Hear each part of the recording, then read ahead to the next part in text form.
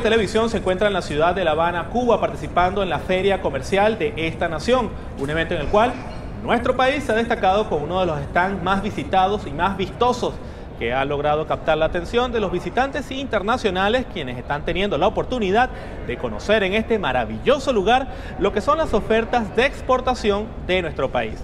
Pero no solamente del sector privado, sino también del sector público que se ha sumado a este esfuerzo por la generación y la diversificación de divisas y de exportaciones. En este sentido, nos acompaña en este momento Iris Varela, titular de la cartera de servicios penitenciarios, y Vicente Diegues, quien es médico urólogo, con quien vamos a conversar a propósito de la oferta que ustedes están trayendo a este evento. Ministra, bienvenida. Gracias, Bori. Bueno, primero encantado de estar aquí, gracias por facilitarnos el espacio. Y yo creo que todo el mundo se preguntará, bueno, ¿qué hace la ministra de Servicio Penitenciario de Venezuela en La Habana, en una feria de turismo?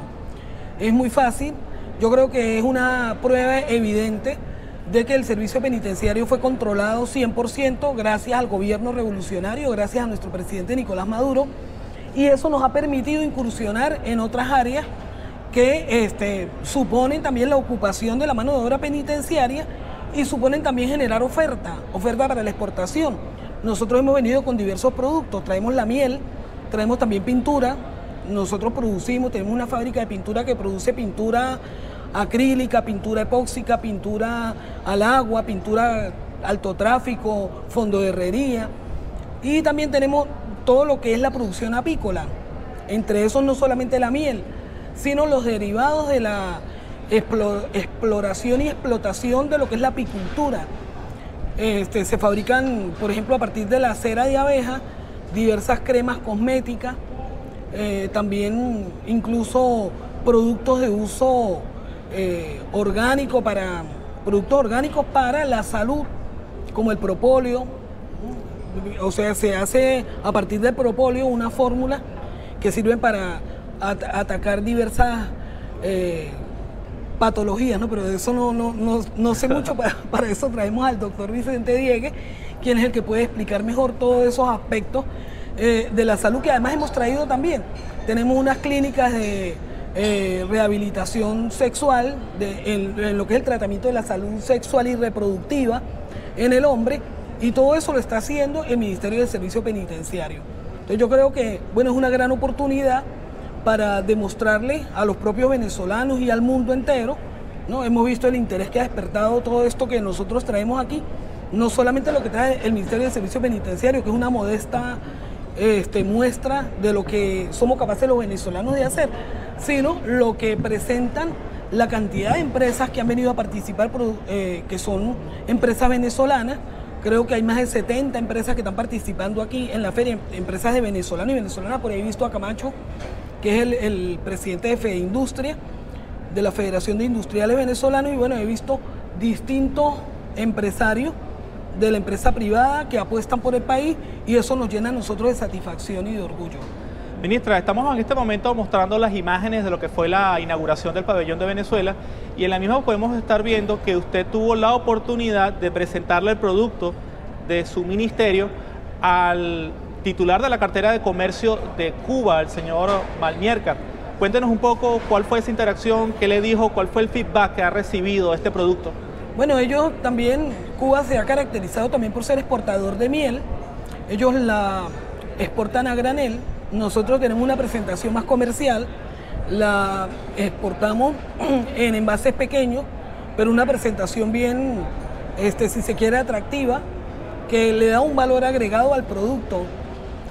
Entonces, bueno, es parte de, experiencias que incluso ellos se muestran interesados Estamos haciendo en este momento ruedas de negocios, estamos haciendo contactos bilaterales, tenemos invitaciones para otros países y yo creo que bueno, de aquí salimos nosotros fortalecidos. Eh, vale también recalcar una felicitación para el ministro Félix Plasencia, primero porque ha sido una persona que le ha puesto todo el empeño y hemos visto cómo este pabellón quedó bien acondicionado, bien bonito y es del atractivo, pues aquí hay demostraciones de la cultura venezolana, de nuestra cultura que ha sido reconocida hasta por la UNESCO.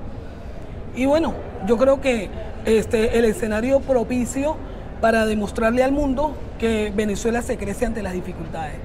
Bueno, en esta entrevista especial que estamos haciendo desde la ciudad de La Habana a propósito de la participación de Venezuela en la Feria Internacional de Comercio que está organizando Cuba, nos acompaña también un médico urólogo, Vicente Diegues, quien ha hecho una exposición bastante concurrida a propósito del tratamiento de distintas patologías. Pero más allá del tema médico, yo quisiera que usted nos hablara de un área que es muy interesante y es la promoción de Venezuela como un centro para la atención médica a nivel internacional cuál es la realidad de nuestro país en cuanto a este mercado y cuál es la potencialidad y las ventajas comparativas que el sector médico y de salud de Venezuela podría otorgar a una necesidad que es apremiante, la generación de divisas. Claro, fíjate que eh, nosotros estamos creando el primer centro de tratamiento de disfunciones sexuales en los hombres y en las mujeres. Estamos aquí ofreciendo una opción de tratamiento 50% más económico que cualquier estado y entonces todos estos pacientes que requieran o necesiten tratamiento pueden venir a nuestro país y nosotros les vamos a ofrecer el tratamiento, bien sea hormonal, bien sea por ondas de choque o por electroestimulación para mejorarle su calidad sexual a cada uno de estos pacientes. ¿Cuánto costarían tratamientos de este tipo en Estados Unidos y cuánto podrían costar en Venezuela? Fíjate, te vamos a dar un ejemplo. En Europa el tratamiento por ondas de choque está sobre los 1.300, 1.500 euros en Estados Unidos sobre los 2 mil dólares el tratamiento. Nosotros en Venezuela lo tenemos en 400 dólares aproximadamente el costo, que es mucho menos que lo que ofrecen en otros estados y en otros países. En Perú, por ejemplo, hay una, una compañía que se llama Boston Medical Group y ofrece un tratamiento tres veces más costoso que nosotros. Entonces aquí hemos ofrecido, y en la charla lo dijimos, pueden ir a nuestro país, eh, pueden ofertar nuestro tratamiento y lo vamos a tratar y lo vamos a curar de esta patología. Ahora bien, un poco más allá de la urología, ¿cuál es el potencial de Venezuela en la generación de divisas mediante la prestación de servicios médicos en otras áreas? En comparación con otros países, estamos hablando casi de un 30% menos del tratamiento que puede ser en otros lados. Eh, podemos colocar tratamientos hormonales, que es mucho más económico y estamos haciendo un, proyecto para mejorar las condiciones sexuales de los pacientes con eh, la miel, con diferentes eh, productos de la miel que estamos desarrollando para mejorarle a cada una de las personas su calidad sexual y esos productos poderlos exportar para producir divisas para el país. Bueno, vamos de inmediato con nuestra compañera Jordana Chacón, que a esta hora se encuentra haciendo un recorrido por los distintos stands de esta Feria Internacional de La Habana y nos trae más detalles a propósito de lo que está ocurriendo en este momento. Jordana. ¿Qué? Boris, nosotros seguimos recorriendo cada uno de los están presentes, también las empresas públicas del Estado venezolano. Nos encontramos en el stand de Bolipuertos que viene a ser una oferta para el empresariado que está interesado justamente en invertir en Venezuela, en seguir confiando en nuestro país. Y quisiera saber entonces, conversando con el gerente de comercialización, justamente Frank Berengel, para que nos hables ¿no? de lo que ha sido la participación de Bolipuertos acá en la Feria Internacional de La Habana. Hola, buenos días. Ciertamente nos encontramos acá en la, participando en la 37 Feria Internacional de La Habana, eh, Bolivariana de Puertos, esta empresa socialista del Estado venezolano, nacida en revolución, importante destacar esto siempre, que se encuentra acá para ofrecer toda la plataforma de servicios que somos capaces de brindar a través de los siete puertos marítimos internacionales con que contamos en el país. Es importante destacar que eh, tenemos la capacidad de manejar carga contenerizada, carga granel, carga proyecto, carga sobredimensionada, también materiales peligrosos. Tenemos puertos con tecnología de punta, tenemos puertos con personal altamente calificado, entrenado y eh, la oferta de nuestras tarifas en términos de servicios son competitivas dado que están dentro de los estándares internacionales. En ese orden de ideas también se está trabajando con la posibilidad en los próximos días, el presidente de la empresa, el vicealmirante Juan Carlos Caraballo, hará un anuncio acerca de otro tipo de facilidades que hagan atractiva la presencia y la participación de diferentes navieras en nuestros puertos. Retos de cara al año 2020 para Bolipuertos y lo que representa evidentemente el incremento quizás de las importaciones para Bolivariana Aeropuerto que sigue en crecimiento en su décimo aniversario. El reto más importante es eh, la orientación que tenemos desde el punto de vista estratégico en términos de lograr la certificación de puertos verdes, partiendo del criterio del puerto ciudad, la economía de puertos, de avanzada de punta en función de la globalización, de la interconexión, de la posibilidad de transporte intermodal, estamos decididos y trabajando con todo el mayor ahínco y empeño en lograr llegar a tener puertos verdes. Frank Berengel, gerente de comercialización de Bolipuertos, compartía con nosotros parte de lo que es esta eh, importante participación que tiene esta empresa estadal venezolana en la Feria Internacional de La Habana. Pero también tuvimos la oportunidad de conversar con el pueblo que ha venido a conocer y a recorrer este hermoso pabellón de la República Bolivariana de Venezuela, el pueblo extranjero y pueblo cubano. Vamos entonces a escuchar qué pudieron decir luego de visitarnos. Muchas cosas bonitas, los cantantes, los músicos y eso. Está ¿Qué, tal la, ¿Qué tal la música venezolana? Está bonita, está bonita, los bailes, los bailes de la música. Los bailes es lo que más me gusta. El mensaje que usted le puede dar al pueblo venezolano que, lo, que la está viendo en este momento, que tiene ese sentimiento de hermandad por Cuba, ¿qué mensaje le pueden ver usted a los venezolanos? Bueno, yo lo que puedo decirle que sigan para adelante y que sean como nosotros, los cubanos, luchadores hasta el final. Bueno, hasta ahora el país de Venezuela me parece un país que está bastante bello, tiene bastante exhibición, se muestra el desarrollo que hay en Venezuela, la diferencia que hay desde que yo estuve allá hasta ahora que se ven muchos productos nuevos y pienso que todo marcha bien como duro frente. Una feria internacional que ha sido exitosa para cada uno de los participantes, 3.000 metros cuadrados dispuestos para elevar las potencialidades de Venezuela, un país hermano, hermano con Cuba y con cada uno de los que están hoy representando cada una de estas empresas, tanto públicas como privadas, presentes en esta 37 edición de la Feria Internacional de La Habana. Boris, volvemos contigo. Gracias Jordana por tu reporte y les recordamos que nos encontramos realizando un programa especial de la Feria Internacional de La Habana en el stand de Venezuela, uno de los más grandes y de los más visitados en este evento internacional. Si usted nos está sintonizando a esta hora en este programa especial, les recordamos que tenemos a la titular de la cartera de servicios penitenciarios, Iris Varela, quien está acompañada también del doctor Vicente Diegues, con quien estamos hablando a propósito de la posibilidad de Venezuela de generar divisas no de la forma tradicional con el petróleo, sino con productos no tradicionales. Y creo que usted tocó muy bien la tecla cuando dijo que muchas personas se estarán preguntando qué hace la ministra de Servicios Penitenciarios acá en La Habana. Pero ahora le voy a preguntar lo siguiente. Ya usted me comentó que están fabricando pintura, que están fabricando miel. ¿Qué otros proyectos han vislumbrado ustedes, no solamente para abastecer el mercado nacional, sino también para venir a este tipo de ferias? Perfecto. Sí, bueno, nosotros tenemos una gran gama de productos Incluso tenemos eh, productos hechos a partir de la herrería, productos de, también de carpintería, porque en el mundo, y eso es bueno que el pueblo venezolano lo maneje, es muy apreciado todo lo que surja de la mano de obra penitenciaria. Eso tiene un mercado particular. Y eso ha sido siempre una realidad así, incluso en países europeos. Nosotros hasta ahora, una vez logrado el control total del servicio penitenciario, gracias a la gestión del gobierno del presidente Nicolás Maduro, estamos abriéndonos a otras posibilidades. Y cuando nos ponemos a observar eh, incluso los convenios y los apoyos que a los productos que se fabrican desde las cárceles, que se producen de manera artesanal o incluso industrial, porque ahí en, algunos países, bueno, se instalan fábricas industriales a partir de las unidades productivas en los centros penitenciarios. Bueno, eso ha sido una idea que nosotros hemos venido macerando en el transcurso de estos últimos años, fundamentalmente a raíz de alcanzar el 100% del control del régimen penitenciario en el país.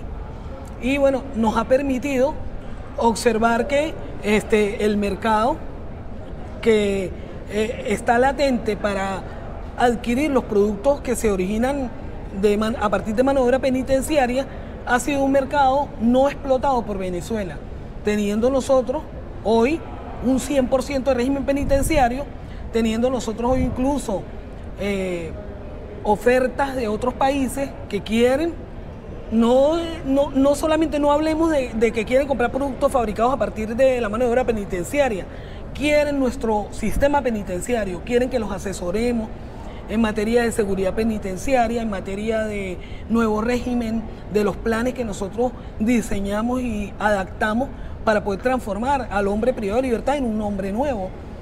Y creo que todo eso, bueno, es, un, potencial que tiene el gobierno revolucionario para ofrecerle al mundo y creo que estamos aquí en vías de explorar eso, esos mundos y poder eh, mostrar a Venezuela a través de esa vía con lo bueno que puede ofrecer. Una de las características que tiene esta Feria Internacional de La Habana es que no solamente es lo que estamos viendo, escenarios vistosos llenos de muestras para que el público general lo vea, sino también el desarrollo de mesas de trabajo, que quizás son encuentros que son mucho más privados, que no salen en los medios, pero que quizás es el núcleo de este tipo de muestras.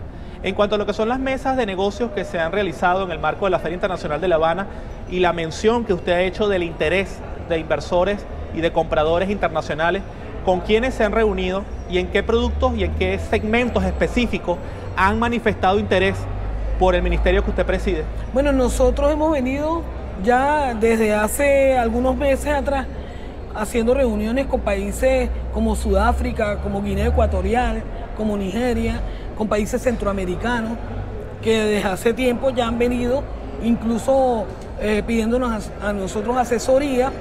Tuvimos un encuentro muy productivo con este personal del gobierno mexicano desde, eh, desde Venezuela. Tuvimos unas reuniones con unas personas enviadas por el alto gobierno mexicano, también con este, miembros del partido Morena, del partido del presidente eh, de México. Y bueno, eh, estamos abiertos. Hemos extendido las invitaciones también porque se han mostrado muy interesados eh, en algunos en conocer nuestra experiencia directa, los que ya la conocen solamente están agendando una eventual visita nuestra hacia esos países porque están ávidos de que nosotros aportemos lo que hemos alcanzado y lo compartamos con ellos. Y eso se está canalizando, por supuesto, a través de Cancillería. Vicente Diegues, para quienes no lo conocen o están sintonizando ahorita nuestro programa, también está participando junto a la ministra Iris Varela y él está, eh, en este sentido, trabajando lo que es una línea de desarrollo, de generación de divisas, atrayendo lo que son servicios médicos en nuestro país. Nos han preguntado en las redes sociales qué países han desarrollado este sector de servicios médicos en el mundo, cuántos generan y sobre todo cuál podría ser el potencial de generación de divisas en Venezuela, tomando en cuenta la capacidad instalada y el personal médico que ya se encuentra en el país. Y fíjate que, una de las cosas que llamó más la atención de la conferencia que yo di fue el máster de sexualidad que vamos a hacer en el país. Entonces, eh, a partir de marzo, y ya algunos han tratado de buscarnos por PISI-Centro Médico para inscribirse, para realizar un, un máster en Venezuela de disfunciones sexuales lo pueden hacer desde su país y sobre todo los, de aquí de Cuba, República Dominicana, Ecuador, han conversado conmigo para inscribirse y poder desarrollar este, este, este máster dentro de este país. Bueno, y vamos nuevamente con nuestra compañera Jordana Chacón, que nos tiene más información desde los stands del, del stand de Venezuela en la Feria Internacional de La Habana. Jordana, te copiamos. Boris, nosotros seguimos recorriendo cada uno de los están presentes en este maravilloso pabellón de la República Bolivariana de Venezuela y la Alcaldía Bolivariana de Iribarren del Estado Lara no podía faltar. Nosotros nos encontramos junto a Fidel Oropesa, quien es parte además de los que acompaña hoy el pueblo cubano full, además de todas estas personas que hoy vienen a probar cada uno de estos productos con alegría para saber lo bueno que es hecho en casa, que es hecho en Venezuela, Fidel. Y hecho en Iribarren. Nosotros estamos felices de estar acá en la Feria Internacional de La Habana mostrando las potencialidades productivas, económicas y turísticas del municipio, un municipio potencia, un municipio que estamos, somos los principales productores de piña de Venezuela. La piña más dulce de Venezuela se produce en Iribarre, somos productores de café, productores de sisal y productores de cocuy. Estamos mostrando nuestras rutas, la ruta turística, la ruta del café, la ruta del chivo y la ruta del cocuy. También importante Wendy, Wendy Bravo, que también está acá representando al pueblo larense, lo que ha sido esa receptividad. Hoy están acá pues abarrotados con cada uno de nuestros hermanos cubanos que tienen esa curiosidad de saber acerca de los productos, qué te dicen y realmente cuál es el resultado que pueden decir ustedes que han tenido al finalizar esta feria. Mira, el resultado ha sido muy exitoso, hemos tenido muy, muy buena receptividad de todo el pueblo cubano, les llama mucho la atención el cocú y sus diferentes presentaciones que hemos traído el día de hoy hoy. Aparte de eso, el CISAL, como también la transformación, no solamente eh, somos el principal municipio, sino lo hemos transformado a través de nuestros artesanos, los instrumentos musicales como el cuatro, ya que Barquisimeto es la ciudad musical de Venezuela. Nosotros eh, también traemos parte de lo que se viene haciendo a nivel de textil en nuestro municipio, que hay que resaltar que esto es financiado a través de la alcaldía de emprendedores y emprendedoras.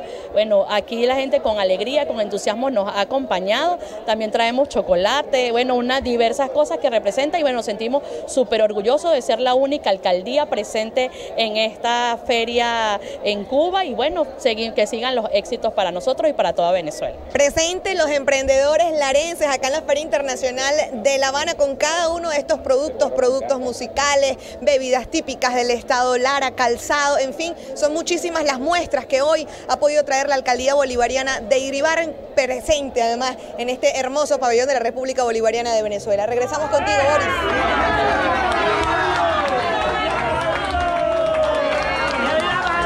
Bien, Jordana, te damos las gracias por tu reporte de lo que está ocurriendo en los pasillos del stand de Venezuela en la Feria Internacional de La Habana. Si nos están sintonizando, a esta hora les recordamos que tenemos a Iris Varela y Vicente Diegues, quienes son dos expositores que están participando en esta feria. Ya estamos llegando al final de esta entrevista yo quisiera que por favor le dieran un mensaje a los venezolanos que nos están sintonizando a propósito de lo que es el esfuerzo que todos debemos hacer para la generación de riqueza y de bienestar en nuestro país.